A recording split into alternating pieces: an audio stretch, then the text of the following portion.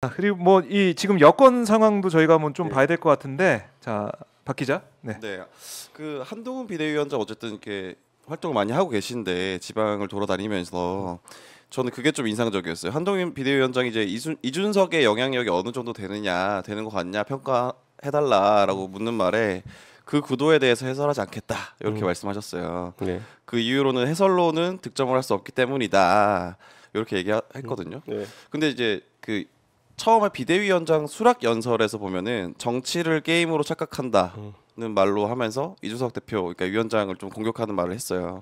여기 어떻게 좀 평가하세요? 정치를 게임으로 한다는 게 무슨 말인지 정의가 돼 있어야 평가를 할 텐데 그냥 관념적인 얘기거든요. 흔히 그냥 유튜버들이나 이런 사람들이 저한테 디스한다고 할 때 정치를 게임 같이 한다 이렇게 하는데 정확히 무슨 말인지 몰라요. 예, 제가 뭐 음. 마우스 클릭으로 정치를 하는 것도 아니고, 그러니까 그 말 자체가 정의가 뭔지 모르는 상황에서 쓰는 것 자체가 저는 어딘가에 포획됐다는 생각을 하거든요. 그래서 그런지 이제는 예. 한동훈 장관께서 아, 비, 위원장께서 예. 이준석 대표에 대한 평가를 좀 회피하는 것 같다. 당연히 되로주고 말로 받을 테니까 그게 이준석의 규칙인데 그게 그러니까 지금 한동훈 장관은 그런 거 신경 쓸 게 아니라 네. 어 똑같은 거예요. 인요한 위원장은 와가지고 막 신나게 셀럽 같이 하고 다니다가 결국엔 국민들이 그한 2, 3주는 인요한 위원장이 신나게 하고 다니면 사람 평가하고 다니는 거 봐줬잖아요. 네. 네. 와가지고 뭐 너는 환자, 너는 뭐 마음이 아파, 너는 그리고 뭐 코리안 젠틀맨 이러고 다니는 거 도와, 그냥 봐줬잖아요. 2, 3주는. 네. 네. 근데 그 다음부터 하는 얘기가 난 아랫목에서 도덕을 배워가지고 어, 윗선에는 아무 말도 못한다. 뭐 이러니까 나라님 얘기 나오고. 어, 나라님한테 무슨 말 하냐. 이, 이러니까 이, 이 아저씨는 뭐지 뭐 이렇게 된 거잖아요. 솔직히 말하면은 지금도 약간 마찬가지인 게 뭐냐면은 처음에 보세요. 이제 언어 합치를 사람들이 본다는 거예요. 여의도 사투리가 아니라 5천만 의 언어로 이야기하겠다. 어디서 뭐 누가 써준 건지 몰라도 굉장히 멋있게 말한 다음에 그 다음에 하는 게 뭐냐면은 나는 청주에 무슨 뭐 청주에서 초등학교를 다녔다. 음. 내가 강원도의 뭐 춘천의 아들이다. 뭐 그다음에 뭐 대구가 심지어 고향 뭐 음. 온 동네가 쇼케이스 하고 있잖아요. 나그 그 얼- 언론에서 제목을 팔도 사나이다. 그러니까 그- 아, 파락군 파락군 출신인 줄 알았더니 팔도 사나이다. 뭐 이렇게도 쓰던데. 이게 정확한 여의도에서 가장 음. 구태의연한 문법이죠. 이게 음. 가가지고 예? 그렇죠. 가가지고 예? 인연을 강조하면서 대구 가가지고 대구 사나이다. 그리고 뭐 지연, 어. 거, 검사로 좌천돼서 부산에 있어서 난 부산도 연구가 있다. 뭐 이런 거. 음. 이런 걸왜 음. 그러니까 이게 그러니까 이게 그러니까 말한 대로 살기가 되게 힘든 거예요. 그러니까 음.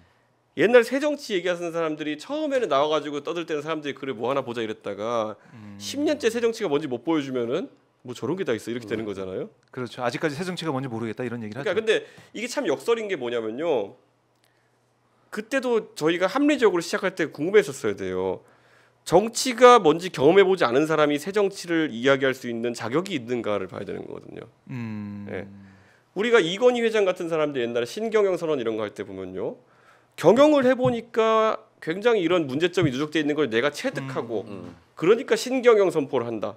아니면 물건을 만들다 보니까 이렇게 불량품이 많아가지고 되겠냐? 그럼 다 야 마당에 다 모아놓고 불태워 이런 게 되는 거거든요. 근데 이거는 얼마 전까지 장관 하시던 분이 와가지고 어, 무슨 뭐 여의도 문법이 어쩌고 이렇게 한 다음에 나는 새로운 거 하겠어 한 다음에 바로 그러면 음. 여의도 문법으로 돌아가잖아요. 그러니까 음. 이게 저는 우리 정치 있어가지고 디테일이 빠진 그런 뭐 새 정치나 아니면은 뭐 새로운 문법 이런 얘기가 굉장히 공허하게 들리는 지점이 있다. 음. 공허하게 들린다. 사실 질문할 게 많은데 이건 꼭 여쭤봐야 돼요. 그 당내에서 사실 이제 공천권에 가장 영향력을 줄 수 있는 사람이 누구냐, 요게 가장 화두거든요. 기자들 사이에서도 가장 궁금해하는 부분이고. 근데 어쨌든 그 한동훈 비대위원장이 기세가 좀 등등하니까 한동훈 비대위원장이 공천권에 가장 영향력을 많이 행사할 거다라고 보는 분도 있는데 음.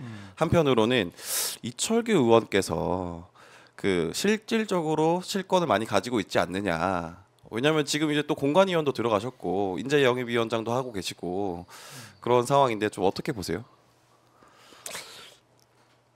저는 이철규 의원이 어떤 사람이냐를 사람들이 이제 봐야 되는데 네. 저분이 굉장히 수완이 좋은 분이에요. 저분이 뭐 어 고등학교 때 굉장히 뭐 뭐알수 없는 이유로 이제 고등학교를 그만 다니시고 이제 경찰 간부 후보생 가셔가지고 네. 굉장히 그 승진을 잘하시고 그러다 두 번 정도 이제 뭐뭐 여러 사건에 연루돼 가지고 옷을 벗으실 만한 일도 있었는데 네. 그때 최종 무죄를 두 번 받으시면서 살아나셔가지고 무소속으로 국회의원이 동해에서 되고 그다음에 뭐 재선하고 지금 여기까지 오는 건데 굉장히 수완이 좋은 분이기 때문에 그래서 윤석열 대통령이 옆에서 이제 두고 계속 일을 맡기는 것 같은데 수완이 좋다는 거는 뒤집어 말하면 수단과 방법을 가리지 않는다는 겁니다. 음. 예. 방법을 가리지 않는다는 거거든요. 그게 무슨 의미일지가 이제 경 총선 때 이제 드, 아니, 드러나겠죠. 음. 저분은 어떤 사람들은 저분이 당 대표를 노리고 있다 이런 얘기도 하고 이렇게 하거든요. 이철규 의원께서 예 예. 당 대표를. 다음번에 한번 당선되면은 음. 또 삼선이 되면 그런 걸 노리고 있다 하는데 글쎄요 저는 이런 생각이 들어요 그 저분 덕분에 그 강서 보궐선거도 참 대패를 당했고 네. 그런데 아직까지 저분이 죽용된다는 건 정말 윤석열 대통령이 사람 없구나 음. 이런 생각 그리고 저분과는 무슨 특수관계냐 아, 윤 대통령과 이철규 의원 간에 예. 어떤 관계가 그럼 있을지. 지금 당내에서 한동훈 위원장, 이철규 의원 둘 중에 어디 어디에 더 무게가 좀 쏠려 있다. 어떻게 보세요? 어, 모 의원이 PK 지역의 모 의원이 네. 제 주변에 자기는 아, 두 명입니다. 두 명이 자기는 이철규 총장하고 잘 통하기 때문에 공천을 받을 것이다를 온 동네 얘기하고 다녔대요.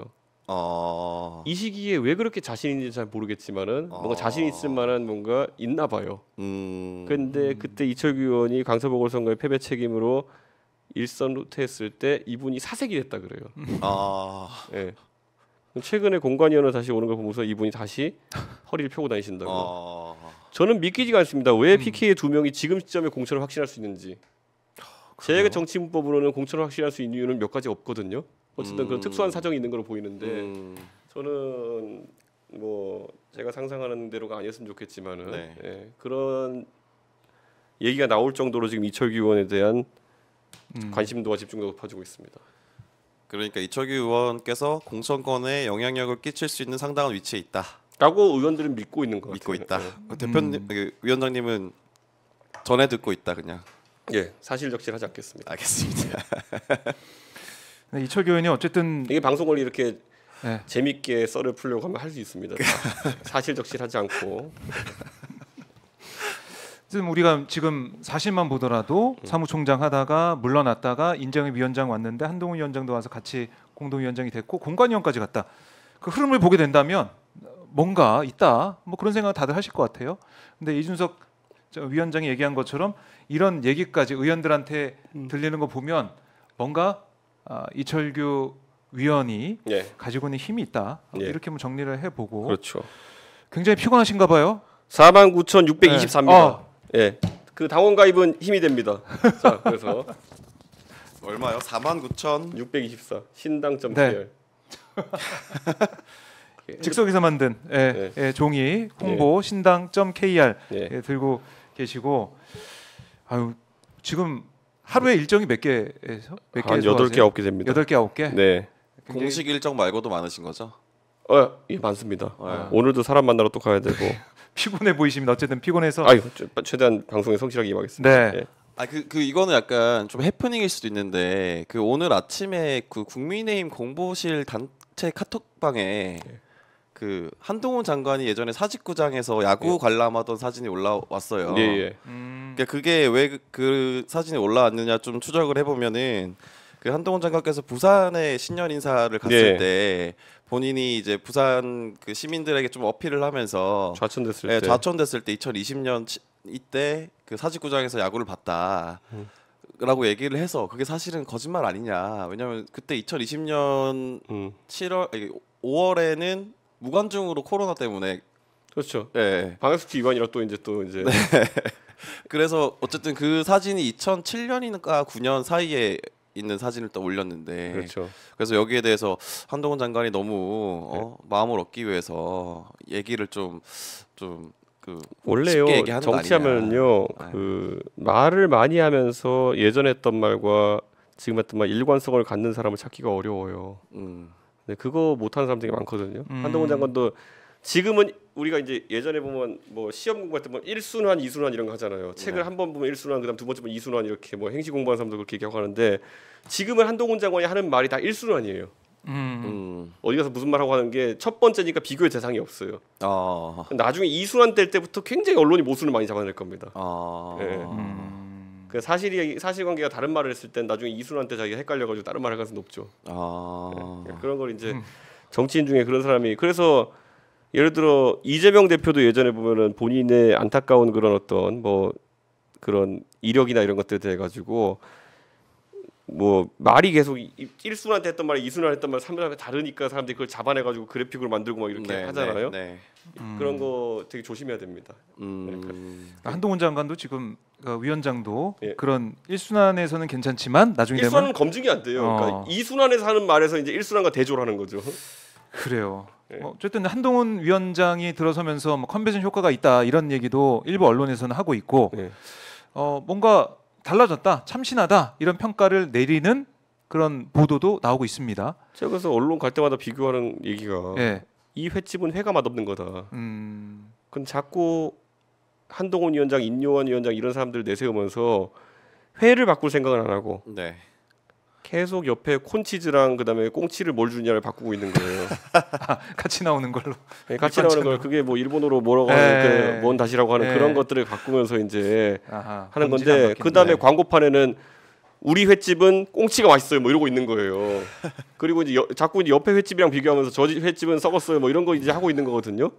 근데 정말 이렇게 되면은 이 회 타운 전체가 망가집니다. 음. 예, 이게 이게 횟집이 이게 진짜 회를 네. 어떻게 신선하게 그렇죠. 바꾸지 않으면은 도대체 어떤 정신 나간 사람이 예. 콘치즈가 맛있다고 횟집에 갑니까? 아이고, 그렇죠. 예. 아, 회가 맛있어야 되는데. 그러니까 우럭이나 광어가 맛있어야지. 그렇죠. 거기 가가지고 무슨 꽁치를 음, 맛있게 음. 구워줍니다. 그러니까 회를 먹어서 이게 말이 되냐고요. 저는 이거 전략을 아. 빨리 제대로 수립해야 되는데. 예. 음. 그래서 제가 문제는 회야 그랬더니만 인요원 위원장은 계속 그냥 예. 예. 도덕이 있어서 자기 못한다 이러고 있고. 예. 아랫목 뭐 얘기하고 있고. 예. 근데 한동훈 위원장이 처음에 첫 일성이 뭐 이른바 이제 개딸 전체주의 예. 이안 된다. 386 운동화 특권 정치 세력 이거 이제 문제 있다. 그러니까 어떻게 보면 그걸 전 그거 쭉 보면서 아, 아니 첫 일성이 어떻게 이렇게 싸우자 얘기냐 좀 깜짝 놀랐거든요. 그 싸우는 것도 그리고 이제 원래 싸우는 가장 적극적인 행위는 본인이 출마해가지고 한석 따오는 거거든요. 아 그렇죠. 음. 내가 앞장서겠다. 뭐 이런 것도. 이런 거죠. 운동권을 정벌하겠다. 그런데 예. 난 출마하지 않겠다. 뭐 이런 거잖아요. 그러니까 이런 거. 그 운동권을 다 정벌하겠다. 예. 나는 그런데 출마하지. 않겠다. 그래서 아, 그거 보면서 아니 뭐 많은 사람이 기대하는 거는 네. 말, 말이 길 필요가 없어요. 내가 586의 가장 지탄받는 대상인 정청래 의원과 붙겠다. 음. 이렇게 하면 사람들이 아, 오. 그 말로 오 딱 정리돼. 입만 이게 움직인 게 아니라 실제 행동을 하는구나 음. 아. 할 텐데 운동권 정리해야 된다. 나는 출출마하겠다. 이거는 음. 아 그게 그러면 기득권을 내려놨다는 측면에서 굉장히 긍정 평가가 이제 있었는데 그게 아니라 사실은 본인은 뒤로 물러나겠다. 그러니까 약간 이런 거잖아요. 저도 이제 예를 들어 보면 제가 불출마 선언을 뭐 하는 걸 검토해 본 적도 없는 게 네. 제가 현역이거나 제가 어디 가면 당연히 당선되는 상태에서 불출마 선언하는 게 기득권에 음, 내려놓기지. 그렇죠. 네. 정치 입문을 불출마 선언하는 사람 처음 봤어요. 그러니까 저는 다 진짜 예. 그러니까 그렇죠. 예. 음. 그래서 그래서 이제 어, 극성 팬 이런 얘기를 또 하면서 네. 뭐 한동훈 위원장이 비판을 했잖아요. 민주당 비판했는데 네. 지금 보면은 박 기자가 취재한 걸로 보면은 네. 한동훈 위원장도 뭐 극성 팬이 있다. 한동훈 줌이라고 혹시 들어보셨어요? 뭐 그런 거 많아요. 뭐 옛날 간줌이라는 것도 있었고 찰줌이라는 것도 있었고 뭐 줌자 들어간 게 되게 많아요. 그게 줌이 한동훈 위원장을 좋아하는 뭐 아줌마 뭐 이렇게 예, 예. 본인들이 근데 한동훈 줌이라고 부를, 예, 불러요 예. 스스로 호칭을 그렇게 해요. 사실 그런 게 이제 이런 분들이 그- 특정 커뮤니티에서 모여 가지고 한동훈 위원장과 관련한 기사에 댓글도 달고 추천도 누르고 그러니까 소위 말해서 댓글 공작을 하시는 음. 중인데 뭐 열심히 하는 건 좋은데 네. 그렇다고 선거 되는 거 아니니까 그거는 네. 그건 인생의 좋은 경험이라고 생각하고 뭐 노력하시는 건 좋은데 그 옛날에 황교안 대표도 그런 사람 많았어요. 그쵸 우리 총리님 아. 지켜드려야 된다고 해가지고 막 댓글 달러 다니고 근데 그 저는 여기서 이야기하고 싶은 게 뭐냐면요 한동훈 장관이니까 선거를 보는 시야가 그 그렇게 넓지는 않은 것 같아요. 음. 음. 그러니까 원래 익숙함에서 멀어지는 것이 굉장히 선거 중요하거든요. 대선 때 제가 윤석열 대통령이 하도 무슨 뭐 영남 다니면서 기분 내고 있어가지고 제가 계속 얘기했더니 보면 지하철역에 살아 지하철역에 음, 서울에서 음. 서울에서 지하철역에 가가지고 인사 한 번만 해보면 지금 민심 상태를 알 수 있으니까 그거 시, 그거 하라고 했는데 죽도록 하기 싫어가지고 안 한다 그러다가 나중에 제가 안 가면 안해 그러니까 한 거 아니에요. 근데 음, 했을 때 그 사진 남아 있잖아요. 예. 얼마나 음. 혼자 부글부글하면서 이제 내가 이준석 저 죽여버릴 거야 이런 생각했어요. 근데 네. 그게 민심이었던 거예요 그때 실제로 그때 이재명 후보한테 9% 차로 뒤지는 여론조사 나왔고 음. 근데 그거를 받아들이지 못하면은 제가 얘기하잖아요 평소에 이제 보면은 그 한동훈 위원장 찍힌 사진을 보면은 빨간 목도리 하는 사람 무슨 빨간색 옷 입은 사람 이런 사람 많은데 지금 길거리에 여러분이 창밖을 내보시라고요 일반적인 사람이 빨간색 옷을 입을 확률이 1년에 한 번이라도 있습니까? 음. 예. 근데 왜 내가 가는 현장에는 이렇게 빨간색 옷을 입은 사람 비율이 높을까를 합리적으로 내가 의심하지 못하면은 계속 포획돼서 사는 거예요 그 안에. 음. 예. 아, 그렇네요. 그걸 생각을 해 봐야 된다. 아니, 아니 솔직히 아. 지금 여기 여의도 바닥에 예. 돌아가면은 빨간색 옷 입은 사람이 천 명 중에 한 명 있을까요? 많지 나 않을 것 같아요. 봐. 지금 특히 뭐. 겨울에. 크리스마스 아니면 뭐. 예. 그러니까. 음. 그러니까 저는 이거는 본인이 봐봐 이게 무슨 비율이냐고 이게 빨간색 비율이 저게 이건 이건 뭐 당 행사니까 그렇다 쳐도 죠. 예. 예. 그 나중에 그 뭐야 그 밖에 이제 돌아다니는 거 봐도 네, 빨간색 비율이 높아요. 그러니까 저는 그런 것만 봐도 음. 그렇고 저는 뭐 현실을 직시를 해야 되는데 그거 아직 못하는 것 같다 이렇게 볼 수 있겠네요. 자, 근데 사진은 굉장히 열심히 찍어주시는 것 같아요. 뭐 차 시간을 어, 놓칠 정도로. 그거 다 해본 건데 뭐 저도 옛날에 근데 이런 얘기한 건 뭐냐면 그거 해보면요 어 이런 게 있어요 사람들이 원래 이제 우리나라 사람들은 예를 가서 저 같은 사람이 가가지고 이렇게 네. 얘기했을 때 뭐라고 보통 얘기하냐면은 정치하시는 분이네요 이런 얘기 안 해요 음. TV 나오시는 분이네요 이런 얘기를 해요 어. 보통 인사말이 그래요 음. 어 TV 나오시는 분이네요 이렇게 얘기를 해요 음. 이게 우리나라 사람들이 보통 하는 건데 네. 그만큼 지금 이제 거의 보수 언론과 종편에서는 한동훈 위원장 일거수일투 취재를 하면서 이제 거의 뭐 형광등 100개, 100만 개 아우라 이런 걸 하고 있잖아요 지금. 네. 근데 그거를 했을 때 당연히 미디어 노출이 높아지면서 신기함은 약간 늘어나요 가면은. 음. 근데 아까 말했던 것처럼 그거의 끝판왕은 인유한 위원장이죠. 얼마나 잘해요 가가지고. 네. 그 백인 아저씨가 갑자기 나오는 말은 구수한 그렇죠, 전라도 사투리에 방송용 캐릭터는 최고죠. 아, 예. 거기다가 그 아저씨가 와가지고 가끔가다 이제 뭐 도덕을 논하고 뭐 이렇게 예? 뭐막 혼내고 음. 사람 평가하고 다니고 얼마나 재밌는 캐릭터예요. 근데 마지막에 결국 국민들은 평가하는 게 뭐냐면 아. 당신이 그럼 혁신위원장으로서 무슨 개혁을 그렇죠. 했느냐. 음. 거기다 보시면은 인유한 위원장 그래도 재밌었던 게요. 불러주는 방송 다 나가요. 맞아요. 그래서 온 동네 다니면서 얘기를 하니까 적어도 인유한 위원장이 무슨 생각을 하는지 알 수 있잖아요. 근데 음. 지금 모든 방송사가 한동훈 위원장 섭외에 실패하잖아요. 그렇죠. 예. 예. 인터뷰는 안 하니까. 얘기를 안 하잖아요. 음. 음. 근데 이거는 우리가 어디서 많이 보는 건데 인터뷰와 취재를 거부하는 정치인들은 사실 한계성이 드러나거든요. 음. 그래서 저는 음. 한동훈 위원장 말도 잘하는데 방송 많이 나가셨으면 좋겠어요. 네. 그 지금 인재 정치 선배로서 네. 조언을 해주신 거라고 생각을 합니다. 중앙광고로서 신당 아, 이게 또